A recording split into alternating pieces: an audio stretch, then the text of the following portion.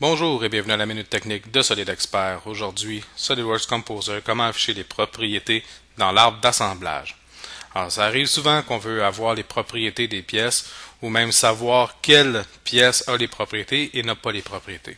Alors, évidemment, on peut sélectionner chacun des composants pour afficher ces propriétés, mais ça demande de sélectionner chacune des pièces une après l'autre.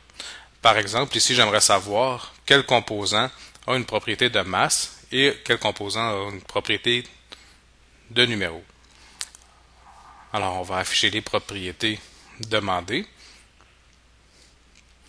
et les ajouter directement dans l'arbre d'assemblage. Alors, ça va éviter d'aller dans les propriétés pour voir chacune des pièces. Alors, une fois les propriétés ajoutées, on peut agrandir la fenêtre de l'arbre de propriétés. Et on a maintenant les numéros et la masse de chacun des composants.